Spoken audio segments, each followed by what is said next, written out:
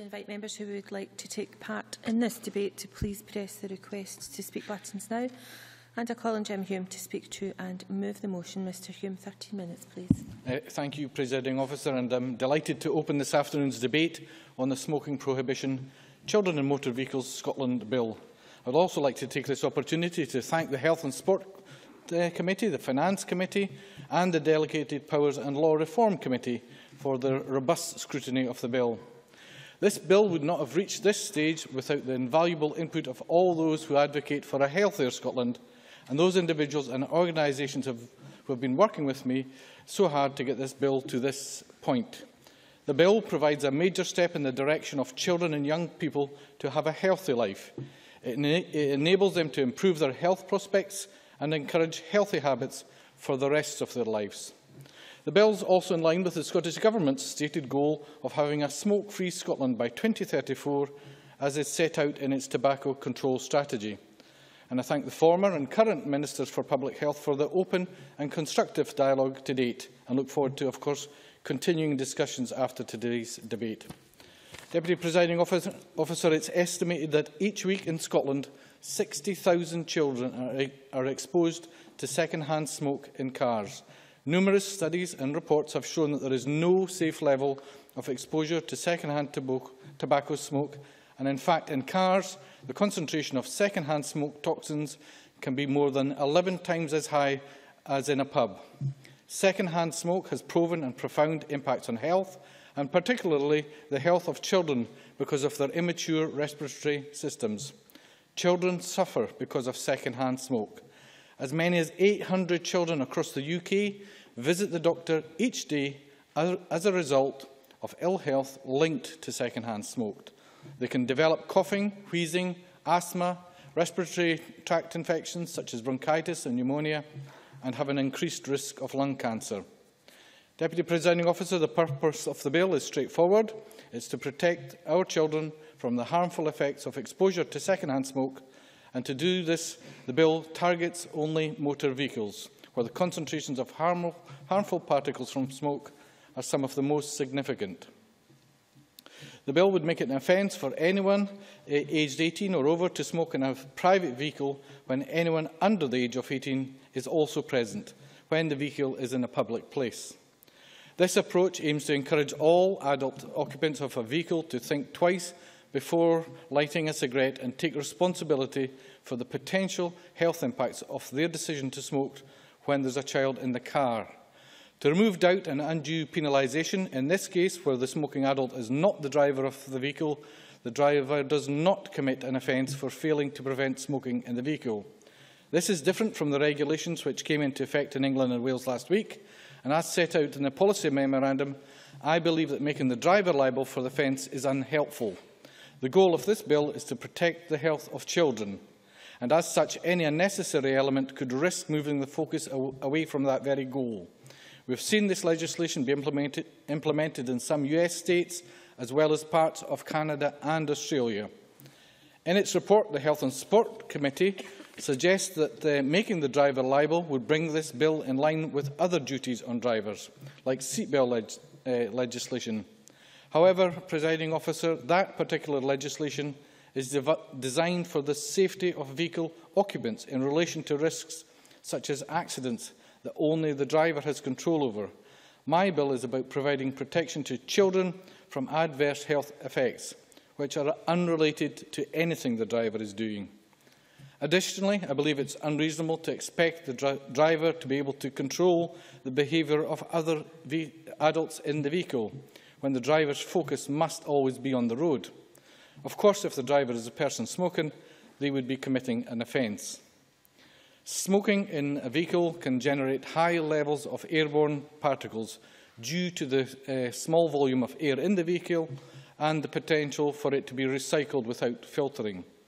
And if you're smoking in a vehicle, even with the rooftop down or the windows open, you're still in close proximity to other occupants of that vehicle.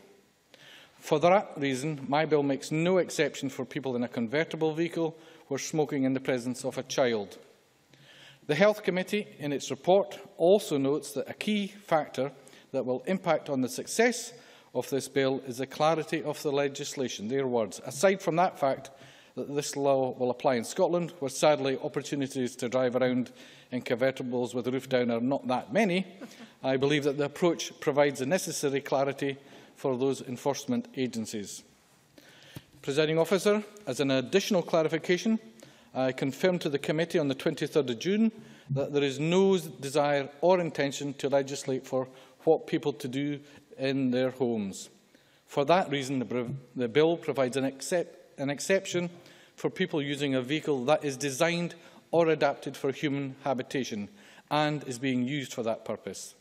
In other words, the exception only applies while the vehicle is actually being used in the same way as a person uses their house and not while it is being used exclusively for the purpose of transportation. This ensures that people who may habitually reside in motorhomes or those who may reside in vehicles on an occasional basis, like holidaymakers, are not committing an offence if the vehicle is being used as accommodation at that time. The penalty uh, for those who are found guilty of an offence is also clearly set on level 3 on the standard scale, where a fixed penalty scheme will be available, and I anticipate that this will be the principal means of enforcement. Provisions for the fixed penalty scheme are set out in the schedule to the bill. In many respects, the provisions are similar to those set out in Schedule 1 to the Smoking, Health and Social Care Scotland Act 2005, which I referred to during the policy development stage of that, the bill. However, the bill includes two specific provisions that I believe are clearer than those provided in the 2005 Act. The first one is that Schedule 1 to the 2005 Act does not specify the amount of the penalty for smoking in public places. Instead, it simply provides ministers with the power to prescribe the amount in secondary legislation. That amount set in 2006 is £50. It's my view that £50 isn't a strong enough deterrent for everyone, and it did, does not do enough to properly raise the profile of the danger caused by second-hand smoke. These are also views that came through strongly in responses to my consultation.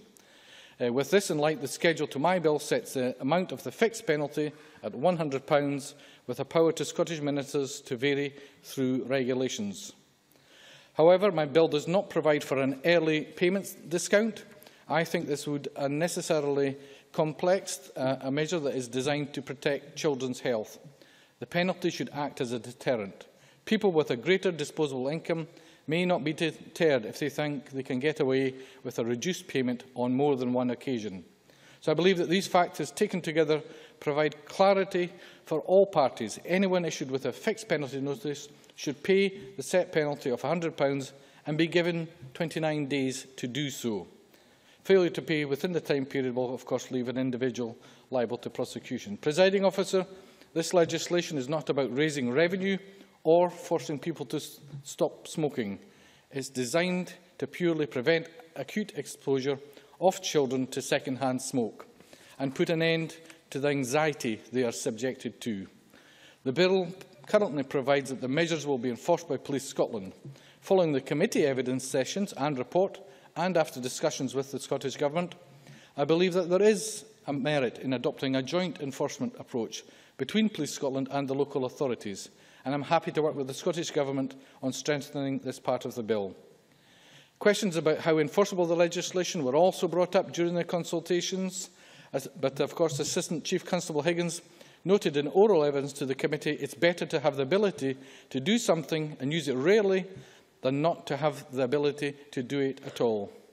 Police officers are entrusted with exercising common, sense, pragmatism, professional judgment and discretion in, in determining what approach to take when enforcing the law, particularly in instances where age is a consideration. Assistant uh, Chief Constable Higgins noted that officers make judgment calls constantly, every minute of every day, in deciding what action to take or not to take. The committee also noted in its report that police officers have experience in assessing the age of teenagers such as in circumstances when they are in possession of alcohol. I see no reasons why officers could not apply the same discretion, experience and professionalism in relation to this legislation. In instances, of course, when there may be doubt about, about the age of the pas passengers.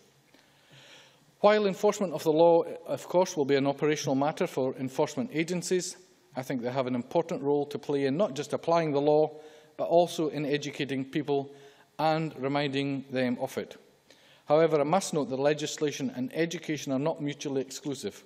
Education campa campaigns alone, as the committee notes, have not succeeded in uh, protecting children from exposure to second-hand smoke in vehicles. Legislation can complement education where education hasn't succeeded. It's an effective deterrent and can uh, bring about a positive culture shift. You only need to look at the impact of the legislation on smoking in public places. Attitudes to that legislation have changed enormously as a result of the 2005 Act. The 2005 Act was coupled with a high-profile campaign which educated people about the dangers and made them think twice about their actions. In many cases, it's not the fear of being caught that changes people's behaviour, but the concern that their actions are not socially acceptable. This chimes with the Scottish Government's own position in its memorandum to the lead committee that legislation accompanied by an education campaign would be self-enforcing. I expect that this legislation will be accompanied by a high-profile campaign which will serve to educate people about the new law and encourage people to think about their actions. Presiding officer, I'd like to conclude by pointing out that the legislation which I'm proposing aims to place a layer of protection for children's health against second-hand smoke. Children that have no option but to go into those smoke-filled cars, whether it's to their school or, oddly, to their, their sports. Once again, I thank those involved in the consultation processes. I look forward to continuing work, working and liaising with the committee, the ministers and her officials to further refine the bill, should it be supported today, as well as working with fellow members of this Parliament. I firmly believe that this bill offers our children a healthier start in life, and I'm delighted to move the motion in my name that the Parliament agrees to the general principles of the Smoking Prohibition Children in Motor Vehicles Scotland Bill. Many thanks. And I now call on Duncan McNeill to speak on behalf of the Health and Sport Committee. Convener, nine minutes, please. Thank you, thank you Presiding Officer. Can I take the opportunity, eh, first of all, to thank um, all of those uh, witnesses who worked with the committee, the committee members and, and our clerk and staff who allowed us to provide scrutiny of this bill. And it's, it's a, a pleasant change where, when we deal with so much government legislation to be reminded that the Scottish Parliament has a place for members to pursue legislation that can make a difference to the people in Scotland. One in five, uh, presiding officer, that's the the number of 13 and 15-year-olds in Scotland who reported they are often or sometimes exposed to second-hand smoke in cars. This figure from a recent survey commissioned by ASH is not one to be complacent about. Indeed, a wide range of stakeholders in the National Health Service, academia, local authorities and non-governmental organisations responded to the committee's call for written views and we are grateful for those who did so. It may come as no surprise that 93% of those respondents reported, supported the bill's general principles. This bill is about protecting children, as already has been said, their health and highlights the particularly uh, that children are particularly vulnerable to the harmful effect of passive smoking in vehicles. Most obviously, this is because children are dependent on others for transport. We all know countless parents and indeed grandparents, carers could easily list chauffeur as their secondary occupation. But seriously, it is precisely children's dependence on others for transport that means when some, someone lights up in a car, children cannot remove themselves from harm. Unlike at home, there is no possibility of in, uh, in a moving vehicle to take it outside. NHS Health Scotland informed the committee that a misconception prevails that there is no danger from second-hand smoke if the, uh, if the atmosphere is ventilated or smoke cannot be seen.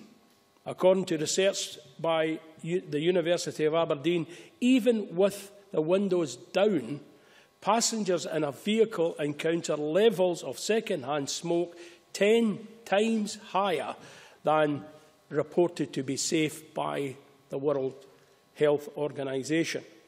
Children, of course, are particularly at risk because they breathe, breathe faster, have less developed immune systems, and their smaller airways mean that they absorb smoke more quickly than you or I. The Royal College of Physicians of Edinburgh informed the committee that every year 4,000 new cases of respiratory infection, wheeze and asthma could be avoided by reducing children's exposure to passive smoking. This chamber, uh, has been pointed out by the member, is no stranger to smoking legislation. Uh, has seen the impact that this can have on, on rates of smoking and bringing about a change in culture. It also, know, it also knows that the importance of getting the detail right and we believe as a committee, broadly speaking, that this bill achieves this and that the committee supports the general principles. However, there are uh, areas, some of which the member in charge has noted, which we consider would, would, be benefit, benefit, would get benefit from further uh, consideration. The bill applies to private vehicles with two exceptions. Motorcycles and vehicles being used for human habitation for not less than one night. This seems sensible as motorbikes are not designed to carry, uh, carry children and some vehicles are used as homes or accommodation. In its memorandum, the Scottish Government supported a further exemption for convertible vehicles with the roof, roof down and stowed away. Uh, I have already mentioned the University of Aberdeen's research, which shows even in ventilated uh, vehicles, dangerous levels of smoke can prevail. I would therefore seek the Scottish Government's views on whether it attends, uh, intends to press this amendment at stage two, and if so, what evidence it has to support it. The bill also raises an important issue about liability. When someone smokes in a pub, we have leg legislated to make that person and the publican liable. If a child passenger under 14 years of age is not wearing a seatbelt, the driver is liable for the offence. In this bill, however, only the adult smoking would be held responsible. We considered the views on whether the driver should also bear responsibility if the person smoking is, uh, is a passenger, and we considered, on balance, that they should be. In his written response to a report, the member in charge disagreed, arguing that this would add complexity and detract from the bill's health focus. The committee considers drivers hold a unique responsibility to ensure the safety of their passengers. Uh, making the driver jointly responsible would offer added protection to the children and also bring about... Yes? Briefly. Jim Hume. Apologies, I was just waiting. I thank the, the member for giving way. There's also a, a difference uh, regarding the driver's liability for someone with the seatbelt. The driver liable for someone not wearing the seatbelt, that is only in the case when the person not wearing the seatbelt is under 14. Uh, if we had vicarious liability, in, in this case, the, the driver would be liable for people of, of all ages. Would the member not suggest, uh, agree that that may be more difficult for a, a driver to therefore persuade an adult to step out, perhaps when they're in the back of the car? Duncan McNeill. The, the member has said previously he is prepared to engage with the committee uh, in, in this debate. I hope he does that with an open mind. The committee are clear in their view that it would offer added protection to children and also bring about a consistency with, with the law in England and Wales.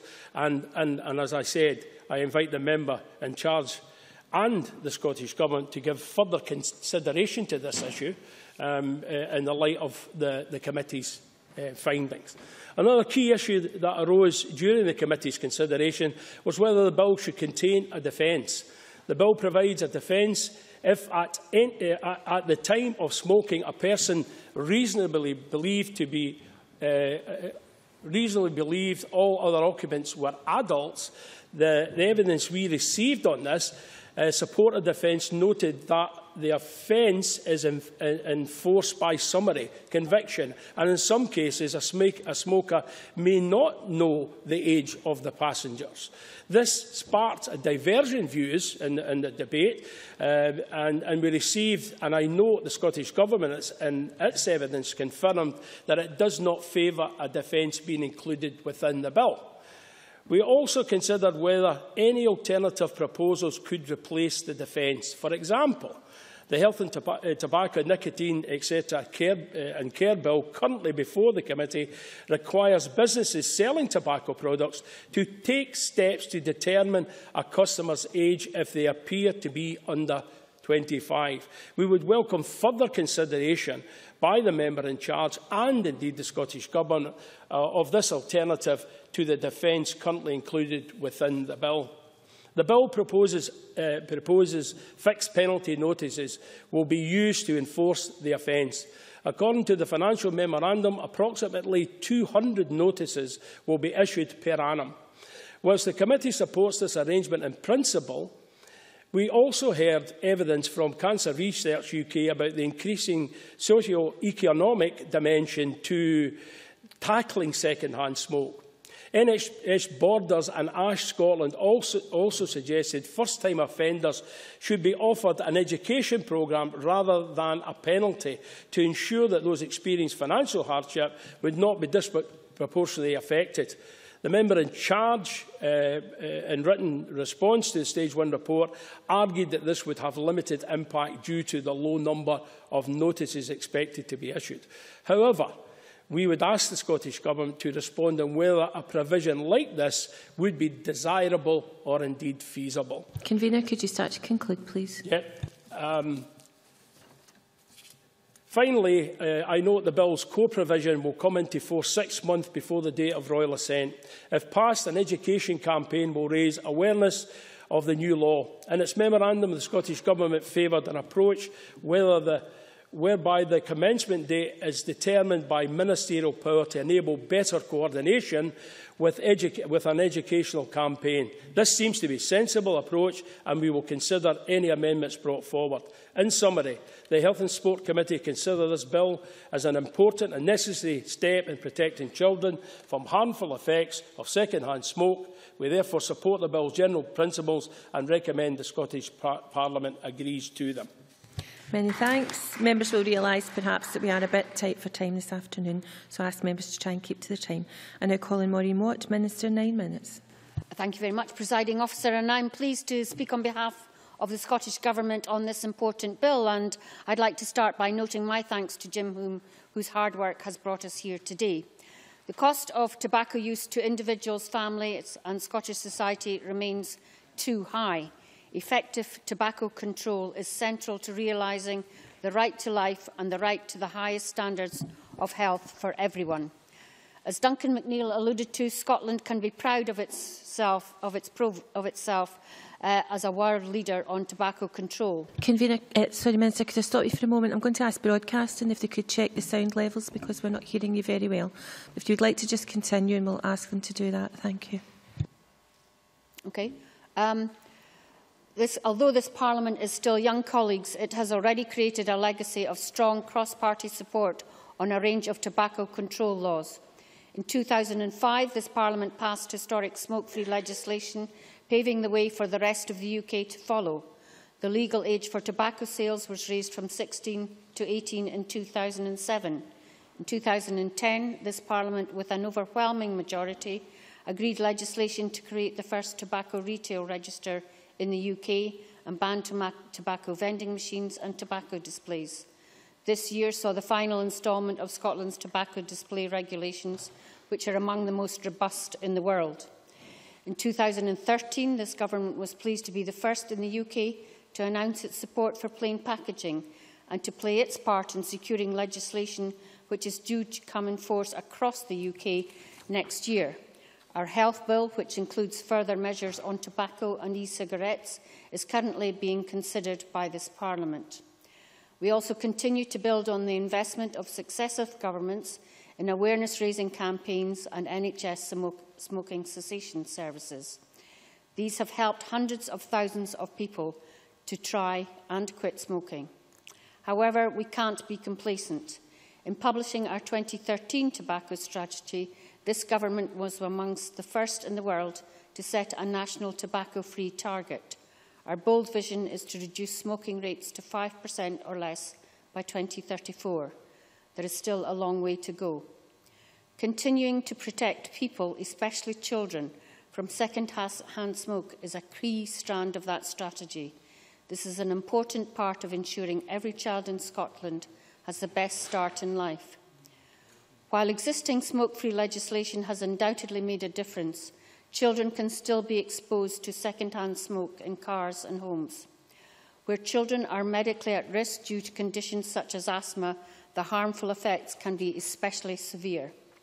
Our strategy included our commitment to reduce the amount of children exposed to second-hand smoke to 6% by 2020. In 2014, that figure was 11%. To achieve this, we developed our national campaign, Take It Right Outside.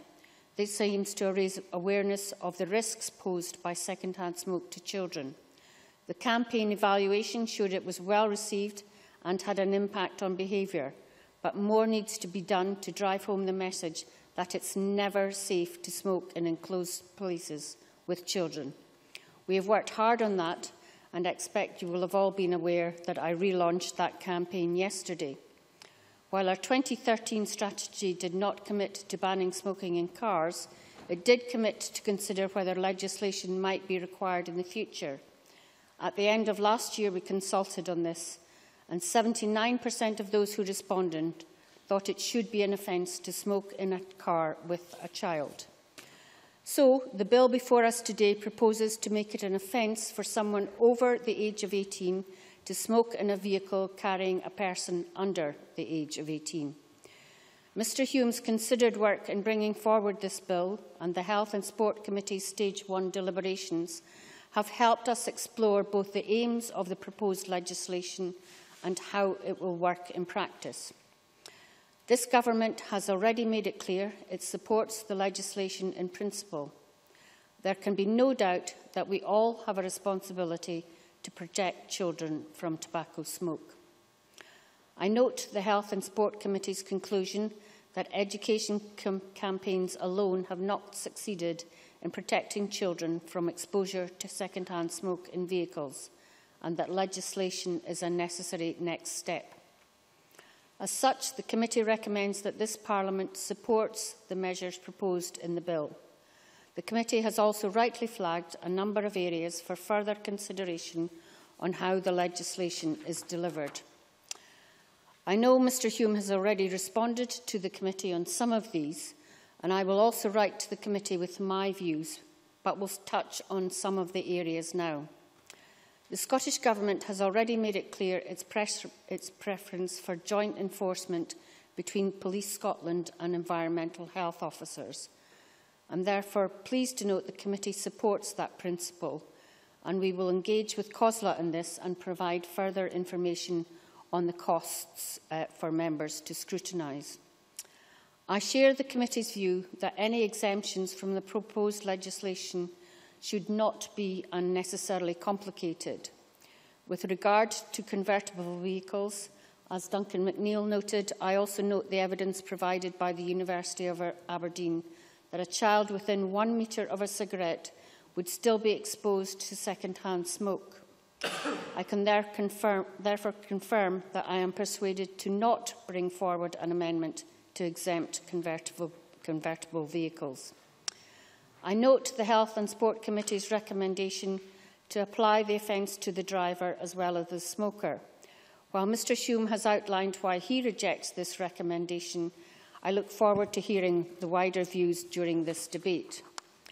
The committee has also raised the possibility of an education programme as an alternative to the proposed penalty of £100. Again, I thank Mr Hume for his consider consideration of that and for outlining his position today, and I'm minded to agree with them. There is much that we would need to consider in developing and introducing an education programme, including content, equability of access across the country, and infrastructure and administration.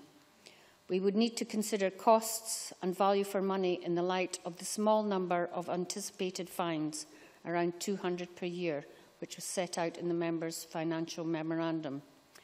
More importantly, we would need to consider the timescales for taking forward this work and the impact that might have on the implementation of this legislation. While I do not think an education programme would be the right alternative, I'd be interested in hearing views today and on whether the £100 penalty is an appropriate level.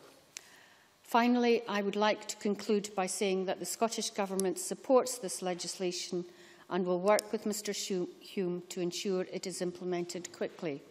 We must all work together to protect children from the harm of second-hand smoke. There should be no delays in ensuring that protection in law is in place. Thank you, President. Many thanks. And I now call on Jenny Marra. Six minutes, please.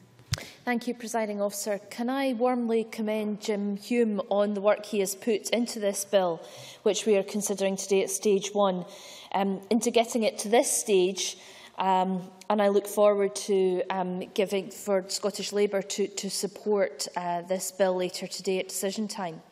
Taking through a private member's bill is a long and difficult process and I would like to acknowledge the determination and hard work that he has put into bringing this issue to the fore. I'm sure there are many people responsible in his team as well.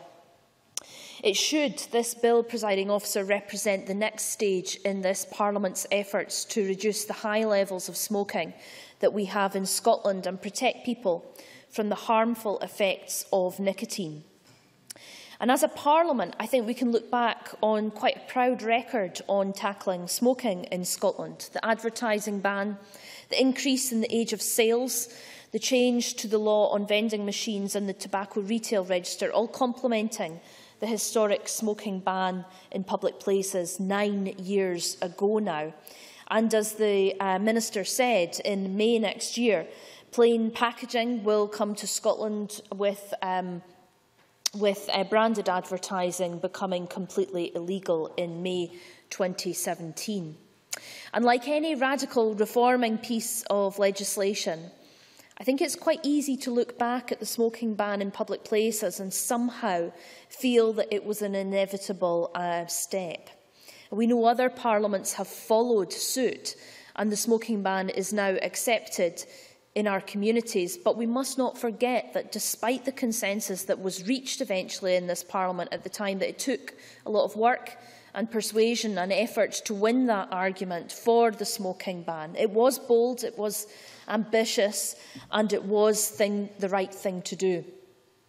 This Parliament was proudly able to stand up against vested interests and opponents who challenged it and convince people in Scotland that this was in all of our interests, both in our health interests, our well-being and in terms of our public budget in the NHS.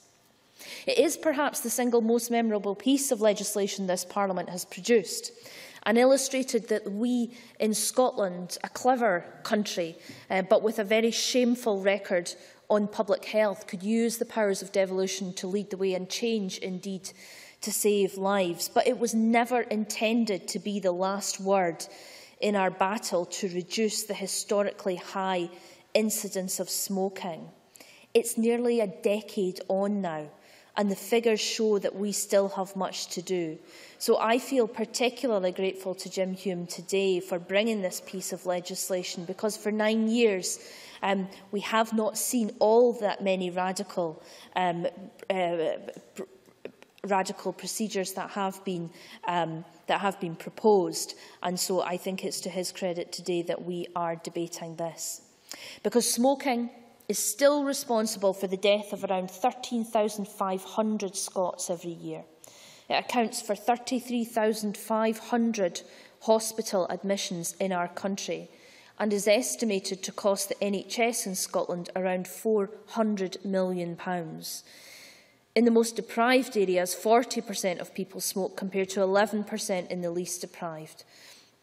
It has a clear role in reinforcing the health inequalities which exist in our communities.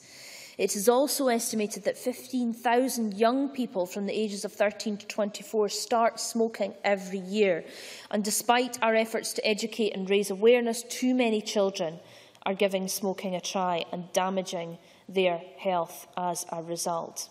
And I don't think it is any uh, coincidence that once children are exposed to the smell and to the, um, and to the attraction, perhaps, of nicotine, that they maybe are by adults in cars, as Jim Hume's bill tries to address today, that smoking becomes more part of their culture, more part of a daily routine, and then perhaps more acceptable for them to start trying themselves. As a country, we do not compare well to our neighbours. Around 23% of people smoke in Scotland compared to 20% in England. And the issue we seek to tackle specifically today, second-hand smoking, is still responsible for too many lives because a private vehicle remains one of the few places where children can legally be exposed to tobacco smoke. And in such a confined space, it poses an obvious health risk. The time is absolutely right to correct this anomaly and brings us in line with other parts of the United Kingdom. And all the evidence shows this measure has the support of the health professionals who see the consequences of smoking every day in our hospitals and in our GP surgeries and who I know are determined to try and reduce the amount of smoking in our country. The police who will be asked to enforce this bill and crucially the people of this country. I'm sure we will agree that today, presiding officer. But if the government is to achieve its target, a welcome one we would all support of creating a tobacco-free generation by 2034, then we must continue to be as bold now as the smoking ban was then. And I hope this is not the last time in this Parliament that we will debate more radical moves and perhaps in the next Parliament too. Presiding officer, just this week, figures in smoking cessation show that we are not on track to meet the government's own target. Indeed, in the most deprived areas of Scotland, the quit rate after three months fell way short of the target of 12,000, and that we, we only managed to hit 58%. Indeed, NHS Shetland was the only health board to meet the smoking cessation target. Presiding officer, changing behaviour and lifestyle is not easy, but I think this bill is an important step towards that today. And I'm proud to say that Scottish Labour will be supporting Jim Hume's bill at decision time this evening. Thank you. Many thanks. And I now call on Nanette Milne. Six minutes, please. Uh, thank you, Presiding Officer. Let me say at the outset the Scottish Conservatives will be supporting this bill at stage one because we agree with the policy intent to promote the health and well-being of children defined as those under the age of 18 by protecting them from the harmful effects of second-hand smoke. We do, however, have some reservations, particularly about its enforceability, and if the bill does become law, we'd want to see its impact monitored. This is in line with a recent study in Wales which has shown that the impact of any legislation which aims to reduce the effects of second-hand smoke on child health should be continuously monitored. And we agree with the Law Society's suggestion that the effects of the prohibition should be researched and reported on by the Scottish Government at regular intervals. My colleague Jackson Carlaw, in his closing speech, will outline our thoughts on an amendment we are considering to deal with the eventuality that the desired impact of the legislation is not achieved. The bill seeks to achieve the policy intent by prohibiting smoking by any adult occupant in a motor vehicle where a child is present. The vehicle must be in a public place and motorhomes are excluded if they are parked for habitation purposes for a period of not less than one night. With smoking defined as smoking tobacco or any substance or mixture which includes tobacco or any other lit substance or mixture, the vaping of e-cigarettes would not be covered by the bill's provisions and to my mind it might be difficult to differentiate between smoking and vaping, particularly in a moving vehicle. As an aside, I note the Law Society's suggestion that the prohibition of e-cigarettes should be considered within the bill's provision, given that further research is required, and hopefully ongoing, on the long-term risks and the benefits to public health in general and to young people in particular. There's no doubt that levels of passive smoke in cars can be very high, due to the restricted area in which smoke is circulated resulting in much higher levels than those experienced in buildings. And air conditioning or opening windows does not remove this hazard. And of course the young people affected cannot remove themselves from exposure to it. According to Asthma UK, Around 22% in children, of children in Scotland report exposure to passive smoke in cars, and it's currently estimated that 60,000 individuals smoke in cars while children are present. Passive smoke is considered by medical experts as being a significant causal factor of respiratory conditions such as asthma, wheeze and glue ear, and it has also been implicated in sudden infant death syndrome and increasingly considered a risk factor for cardiovascular disease amongst children. There's little doubt that passive smoke is particularly harmful to children who breathe rapidly and whose lungs and respiratory systems are still developing. What is interesting, and perhaps even surprising though, is that recent polling has shown that 85% of Scottish adults agree with the proposed legislation, and this, that this is supported by smokers themselves, with 72% of smokers agreeing to a new law. With regard to enforcement, Police Scotland suggests that they will be able to detect breaches of the law without difficulty, and compare this with the enforcement of seatbelt legislation, where 36,000 breaches were detected in 2013-14. Personally, I can see it being relatively straightforward to detect the offence in cars with small children as passengers. But in the 15 to 17 year old age group, that must be challenging, given the adult appearance of many of today's teenagers. I think the BMA makes a fair point in suggesting that an outright ban on smoking in vehicles would ensure that vulnerable adults as well as children would be protected and would be easier to enforce. It would also have an impact on road safety, in my opinion, although I appreciate that's not what this bill is about. So I do have a degree of scepticism about how this law can be enforced, and I expect my colleague will express his even greater doubts towards the end of the debate. None of our witnesses regarded this proposed legislation as a panacea, but most felt that it would have a significant effect on the health of Scotland's children, and saw it as a step towards the government's stated goal of reducing the proportion of children exposed to tobacco smoke from 12% in 2012 to 6% by 2020. There's a general acceptance that the introduction of the law would have to be reinforced by an educational programme, and there is some feeling that such a programme might suffice to change people's attitudes towards smoking in cars with children present without the actual need for legislation. But most of our witnesses did regard the legislation as necessary and point out the, pointed out the successes achieved in the countries which already have such a law, such as Canada, where the number of children exposed to second-hand smoke in cars has gone down by 10 percent, and Australia and several states in North America. It remains to be seen, of course, how effective the new law will be in England and Wales, where it, it came into force just last week. Presiding officer, there's an overwhelming medical case that children need protection from passive smoke, which is why we support the general principles of the bill. But there are issues around the actual need for legislation over and above education, given the growing recognition of the health issues by the public in general. There are also issues around its enforcement and, as we've heard, some disagreement around who should be liable for the offence. The driver and the smoker, as suggested by the Health Committee, or only the smoker, as proposed by the member in charge of the bill. And there needs to be further discussion on Police Scotland's proposal that the legislation should be extended to authorise enforcement by others, such as environmental health officers, local authority officers and traffic wardens. I haven't had time, presiding officer, to go into detail about a number of aspects of the bill, which no doubt others will deal with. But I look forward to hearing the debate this afternoon and will consider very carefully any further proposals which come forward at stages two and three, assuming the bill at stage one is approved tonight. Many thanks. We now turn to the open debate, speeches of six minutes, and we are quite tight for time. I call Stuart Maxwell to be followed by Cara Hilton. Uh, thank you very much, Presiding Officer. I very much welcome the opportunity to speak on this bill the Smoking Prohibition Children and Vehicles Scotland Bill, which is, to my mind, the next logical step in denormalising smoking and protecting the health of most vulnerable members of our society, namely our children. It is nine years since the smoking ban in Scotland came into force, and in that time the health of our children has improved. Now less than 20% of pregnant mothers are smoking at their first booking-in visit, a target that was met several years early. Smoking amongst 13 to 15-year-olds is at its lowest since modern surveys began, Indeed, the health benefits began to be seen very early. Now, just one year after the introduction of the smoking ban, a study conducted in nine Scottish hospitals found a reduction in the rate of child asthma admissions of 18% per year, compared to an increase of 5% per year in the years preceding it, which is indeed an enormous boost to our children's health. That same, same study also found that there was a 39% reduction in second-hand smoke exposure in 11-year-olds as well as in adult non-smokers.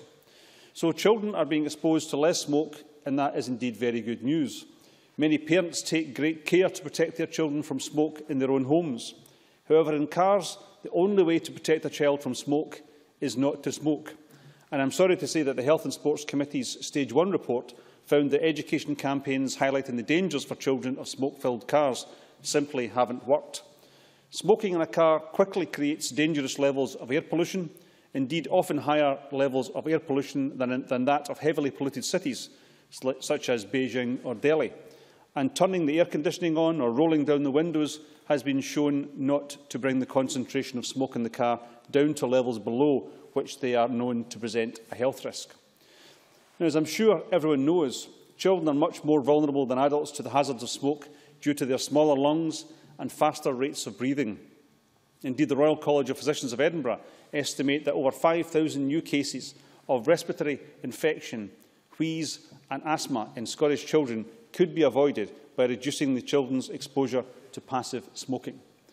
Now, the Scottish Government has introduced a national target to reduce the proportion of children exposed to tobacco smoke from 12% in 2012 to 6% in 2020, as other members have mentioned. And this bill could, I believe, provide great support towards meeting that target.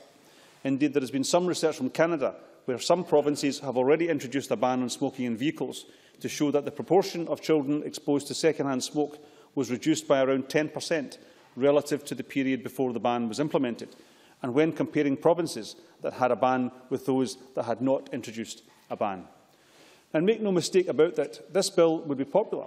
The Health and Sport Committee found that 93% of the respondents to their call for written evidence supported the bill's general principles, and a YouGov survey commissioned by ASH Scotland found that 85% of adults and 72% of adult smokers supported the introduction of a ban on smoking in vehicles carrying children. Now, I am aware that some pro-smoking groups oppose this bill on the grounds of civil liberties. I mean, some things never change. They say that smoking is legal and that what people do in the privacy of their own cars is entirely their own business. Now, and in general terms, I suppose I have some sympathy with that argument. However, I, I do agree for the most part that we shouldn't tell adults what to do when they're in the privacy of their own homes and, for the most part, in their own cars. However, we have to weigh the right of an adult to smoke against the right of a child to good health. We all know that smoking damages not only the health of smokers, but also those who breathe in their second-hand smoke. Therefore, on those scales, I would say that the balance has to come down on the side of the child. A child in a smoke-filled car has no power to protect him or herself, so we have to act to protect children from the dangers of second-hand smoke. More and more countries are moving to ban smoking in vehicles with children in them. Australia, Cyprus and some provinces in, provinces in Canada, to name just a few, are countries that already have bans in place. France introduced such a ban in July, and of course on October the 1st, a ban on smoking in cars with children present came into effect in England and Wales. So Scotland would be moving very much in the mainstream of tobacco regulation by introducing this measure. However, I'm sure that the committee will be considering a number of possible changes at stage two. One such change should perhaps be around enforcement, which at the moment the bill states should be the sole responsibility of Police Scotland. Now, it has been proposed that it should in fact be shared between local authorities and the police. Now, I'm aware that the Scottish Government, Police Scotland and the Royal Environmental Health Institute of Scotland all support this multi-model approach to enforcement, believing that the legislation would have more impact if this amendment were introduced. And I have to say, I think that that is indeed correct. Now, at the moment, it is estimated that 60,000 people in Scotland smoked while children were present in their car. We know that the Scottish public are pretty law-abiding. Seatbelt legislation, drink drive legislation are successful and they work because the public accepts the need for the laws and, by and large, obeys them.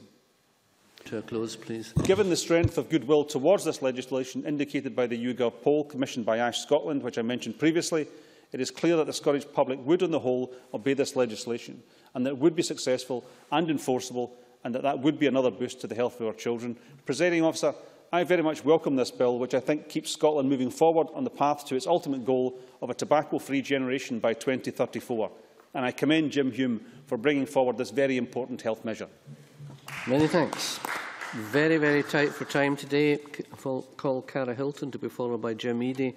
Up to six minutes, please. Thank you, Deputy Presiding Officer. Um, I'd like to begin also by paying tribute to the uh, dedication demonstrated in Jim Hume in getting the bill to this stage. I know that this has involved many months possibly years of work and research, as well as a very effective consultation on the draft proposals. I'm pleased too that the Scottish Government have agreed to support the bill. In Scotland, private vehicles are one of the few places where children can legally be exposed to second-hand smoke, and this bill builds upon the other important, legislative safeguards against passive smoking, and in particular the Smoking Health and Social Care Scotland Act 2005, which saw the previous Scottish Labour-led executive lead the UK in banning smoking in enclosed public spaces. The Minister and Jenny Mara have already outlined further progress that's been made since then, but I think it's a shame that while Scotland led the way in the past, that this important public health bill that Jim has brought forward only comes after England and Wales have already introduced such protection. However, I hope that we will see change soon. Turning to the provisions of the bill, this is undoubtedly another important step forward in protecting the health and well-being of Scotland's children from harmful exposure to second-hand smoke. The bill not only has the potential to improve children's health and well-being, but to save lives too. Research by Cancer Research UK estimates that second-hand smoke kills at least 12,000 people in the UK every single year, with exposure to passive smoking increasing risk of stroke by 25% and heart disease by 30%. As members have already highlighted, every single day in Scotland there are 60,000 car journeys that involve a child being exposed to second-hand smoke. Indeed, Ash Scotland report that more than one in four Scottish children aged 13 to 15 are sometimes or often exposed to tobacco smoke in cars. And the in, in their evidence to the Health Committee, Children in Scotland pointed out that children in most disadvantaged areas are more likely to be exposed to second-hand smoke, with 33% subject to high levels of exposure compared to just 3% of children in more affluent areas. So this highlights too the need to link this legislation into our wider aspirations to get it right for every child and to tackle health inequalities too. Um, as Jenny Marra highlighted already, there's real and indeed growing evidence to prove that exposure to smoke in, in enclosed spaces such as cars is particularly dangerous, given the higher concentration levels of toxic substances. In the briefing for today's debate, Ash Scotland say that the toxin levels in cars where, everyone is, where someone is smoking are higher than pollution levels in cities like Beijing and Delhi, and they're certainly in breach of Scotland's own air pollution standards.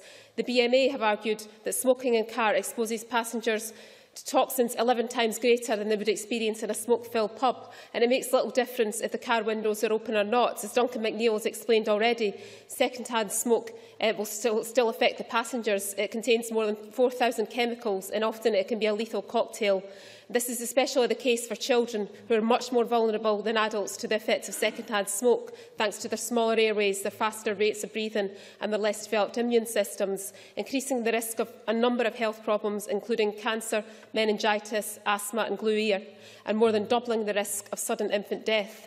Indeed, research shows that 300,000 children in the UK visit a GP each year because of the effects of second-hand smoke, with 9,500 admitted to hospital. But the danger is not simply the health impact of second-hand smoke, it's also the normalisation of smoking in a young person's life.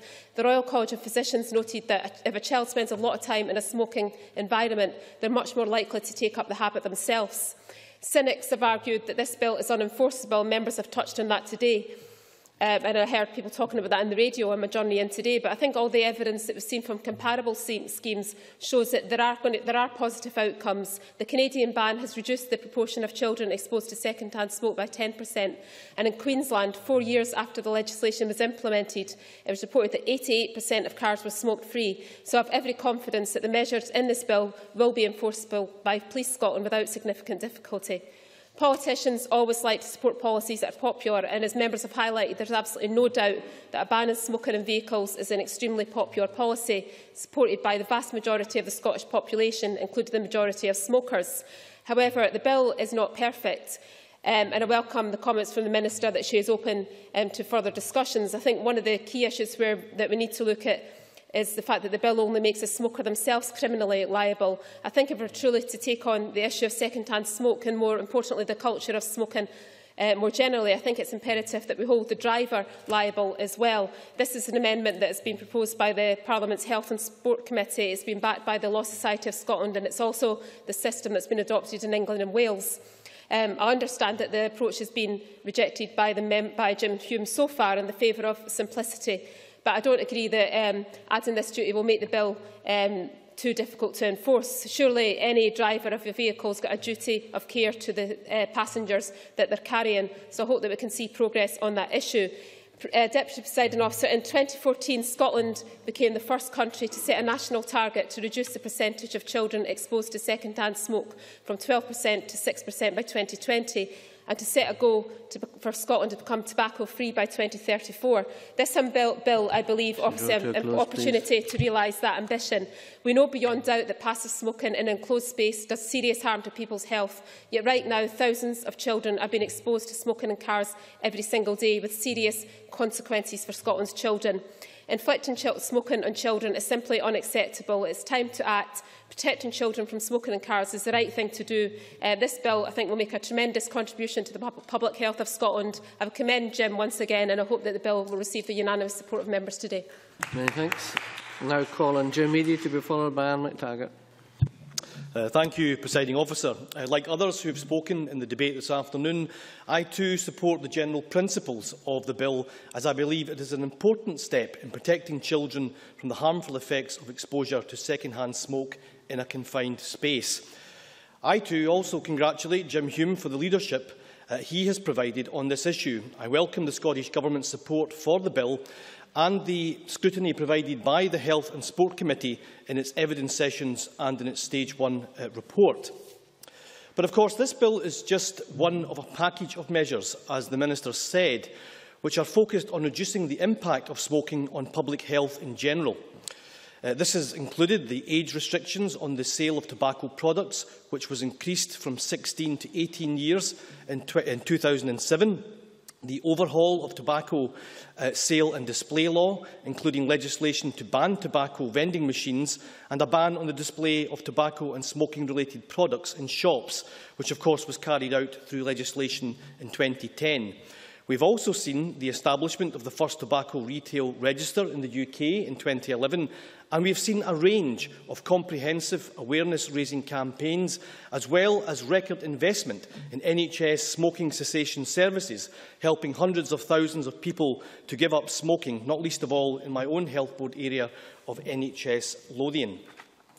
And Jim Hume was right to highlight that children's exposure to second-hand smoke in, in, private vehicles poses a significant health risk of developing respiratory disease due to their immature respiratory systems, a point that has been made by several speakers this afternoon and in the evidence provided by many of the organisations who gave evidence to the Health and Sport Committee. And at this point, it's probably worth reminding ourselves that the Scottish Government announced a new target to reduce the proportion of children in Scotland exposed to second-hand smoke in the home from 12% to 6% by 2020. And it is envisaged that this will protect an additional 50,000 children from exposure from second-hand smoke, and that Scotland is the first country in the UK to set such a target. Now, Jim Hume was also right when he said that children, that children most affected by exposure to second-hand smoke have no other transport options or are too young to make other arrangements and are quite simply not empowered to change the behaviour of adults around them. Or, as Duncan McNeil stated, these children cannot remove themselves from harm. This is just one of the reasons why I believe this bill is so necessary. A common reason cited for supporting the bill was evidence on the harmful effects of second-hand smoking and its disproportionate impact on children. And uh, it is estimated that each year second-hand smoke exposure in the UK uh, exposes children to um, a number of, of diseases. Over 20,000 cases of lower respiratory tract infection, 120,000 cases of middle ear disease, at least 22,000 new cases of wheeze and asthma, and 200 cases of bacterial meningitis. And it was James Cant, the director at British Heart Foundation Scotland, who said, and I quote, second-hand smoke leads to an increased risk of coronary heart disease, stroke and other health problems such as asthma. The effects on children are particularly harmful, putting them more at risk of respiratory infections, asthma and sudden infant death. And I think we would all do well to reflect on the, um, on the importance of that observation.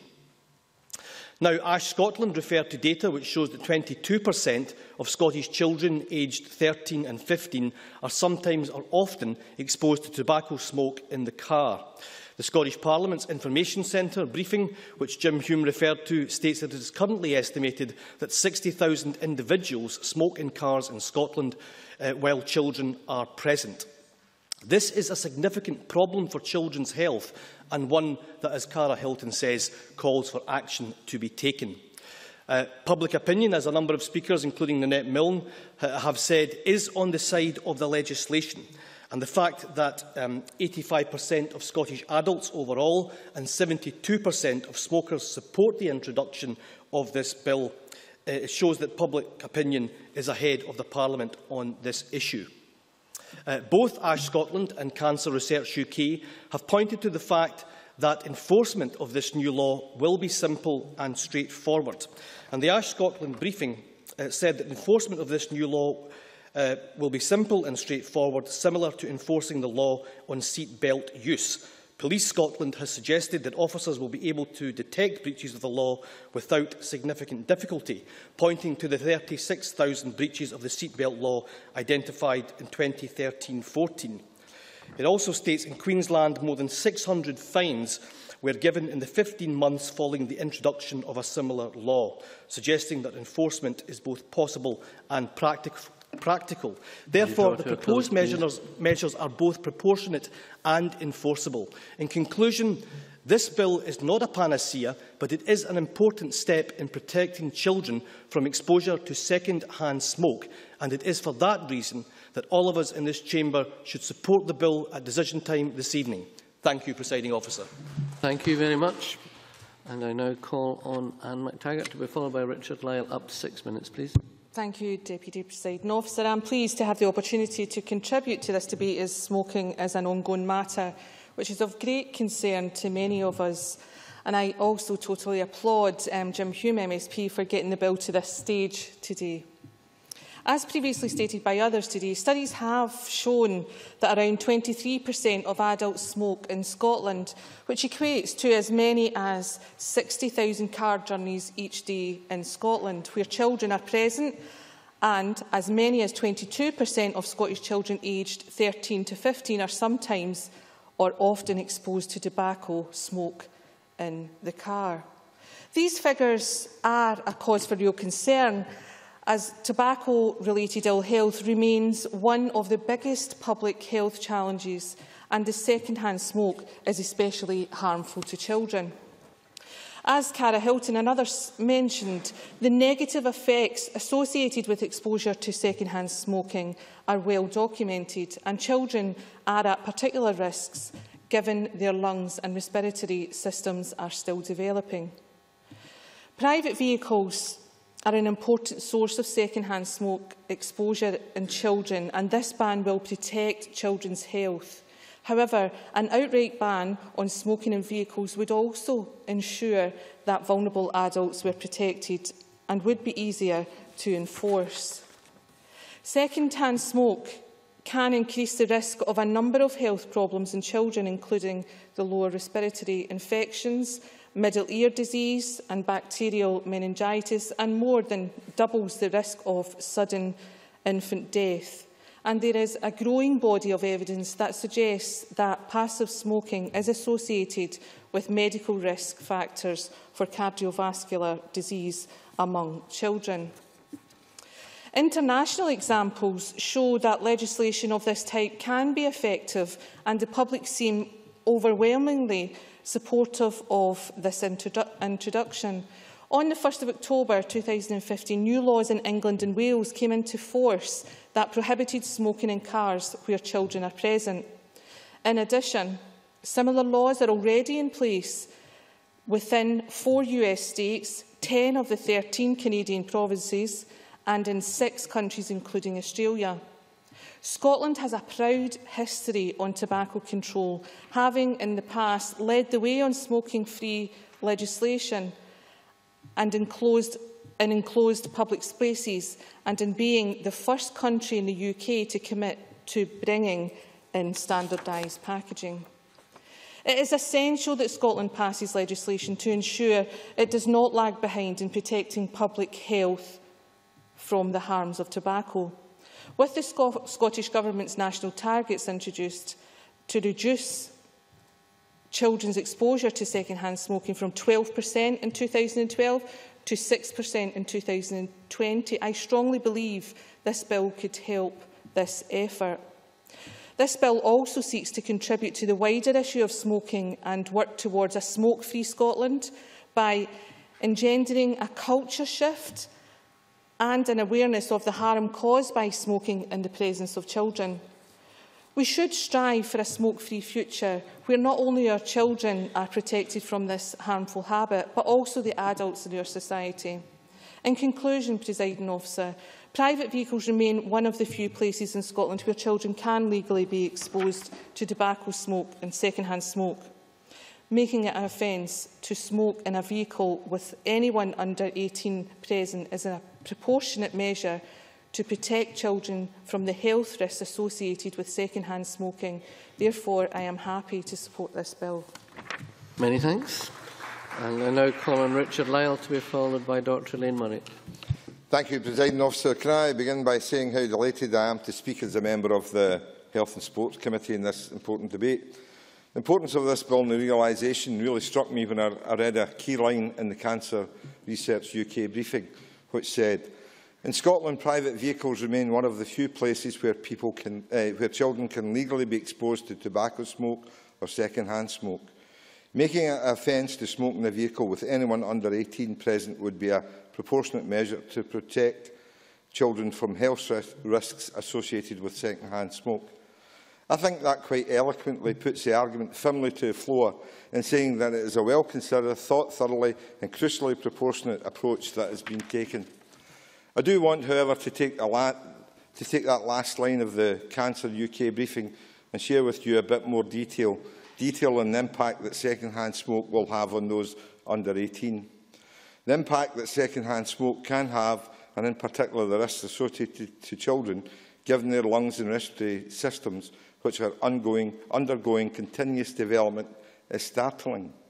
According to Cancer uh, Research UK, they have said that it's estimated that every year second-hand smoke kills over 12,000 people in the UK from lung cancer, heart disease, stroke and chronic uh, COPD. 12,000 people. This SNP government has been, Scottish Government has been committed to tackling the wider issues in relation to smoking and has made through the introduction of its smoking strategy, significant steps to working towards a smoke-free generation by the year 2034. Action being taken in introduction of this bill will not only contribute to working towards that target, will, will contribute along the national target to reduce children's exposure to second-hand smoke from 12% in 2012 to 6% in 2020. In conjunction with the announcement of new targets to reduce the amount of children affected by second-hand smoke, the Scottish Government has launched the Take It Right Outside campaign, urging smokers not to smoke around children. The campaign stresses that it's never safe to smoke indoors when children are present. Just one of the many initiatives, and I compliment this Government, has driven forward to make a difference on the issue of tobacco control. So we know the damage that second-hand smoke can cause. We already have the pioneering success with the smoking ban and its implementation and the impact that it has had not only on health but crucially on tackling social norms. That is, after all, which part of this is about, which is the norm and challenging it constructively. We know, the, we know the damage it causes and we know also the problem that very much exists. According to Ash Scotland, it's currently estimated that 60,000 people smoke in their cars while children are present. 22% of Scottish children aged 3 to 15 are sometimes or often exposed to tobacco smoke in their car. We have a problem. We have the dam damaging impact. We now have a proposed bill. But the question then, and rightly so, that question is how, how it's both implemented and enforced. The the proposed measures are both proportionate and enforceable. The bill will set out a way for Police Scotland to be responsible for enforcing this uh, legislation, just as they are tasked with enforcing the seatbelt legislation, which saw some 36,000 breaches in 2013-14. All children should be protected as much as possible, and as members of this Parliament, it is respons our responsibility to be the voice for the, of the children and young people of Scotland when they need their voices to be heard. The penalties are, will be proportionate with a £100 uh, fixed penalty notice being issued to those who are found capable of the offence and applies to any vehicle. I am confident the people of Scotland will take a responsible approach to this and therefore there will be a benefit to both children and adults who may be exposed to second-hand smoke. So to summarise again, we have a problem. We have the damage and impact. We have the proposed bill. We all know how to take it forward. Therefore, I believe we have the responsibility to take action. I am a smoker, but I'm also a supporter of this bill. I used to smoke in my car when my children were younger. I abhor the thought of doing it now. I see now the damage and impact it can, be, it can have on our children. I know now why my children don't smoke. As a grandfather now, my habits have definitely changed. I'd never think of smoking whilst my grandson or granddaughter were in the car. My grandson, aged three, now says to me, stop smoking, stop smoking. I think it is, for me, it comes to, down to their rights and my rights. I have the right to smoke, but my grandchildren, indeed all the children across this country, have rights too. They have the right to fresh air. I don't have the right to impinge on that. To conclude, President Officer, I'd like to offer support to the introduction of the idea of this bill to Jim Hume and welcome the SNP government taking it forward. So let's work together to make this bill work, to make it a positive difference to the lives of not only the children in Scotland, but to the people of Scotland. Thank you. Thank you so much. I now call on Dr Lane Murray to be followed by Christian Allard. Uh, thank you, uh, Presiding Officer. And can I start by congratulating Jim Hume on bringing forward this bill and also the Health Committee for its scrutiny of the bill. And I'm very pleased to speak at this stage one debate on the smoking prohibition children in motor vehicles bill, supporting both Jim Hume's bill and the Health Committee's suggestions in its report. I know also that many other people will be pleased that this bill has reached this stage in Parliament and will be hoping that there is time for it to be passed fully before the end of this session. But I'm thinking particularly uh, about a group of children whom I met almost a year ago. At that time, they were in P7 in Heath Hall Primary School in my constituency. Aware of the discussions around the legislation in England and in Wales, which have now resulted in the, in the ban which came into force at the beginning of the month, these pupils had undertaken research, a research project on the arguments for and against the ban. This made them aware that, although action had been taken by the UK Parliament and the Welsh Assembly, no legislation had yet been discussed here. Having considered the evidence, the proposition that smoking in cars carrying children should be banned was put to the class and received 100% support. The pupils then individually wrote to me expressing what each of them thought was the strongest argument in favour of a ban and the effects of, on children of passive smoking. Some mentioned the number of chemicals in cigarette smoke, some wrote about the health conditions such as, such as asthma which could be developed, and some about the bad example set to children by their, their parents and other adults smoking. And I'm afraid they all wanted to know the reasons why the Scottish Parliament was not legislating like England and Wales.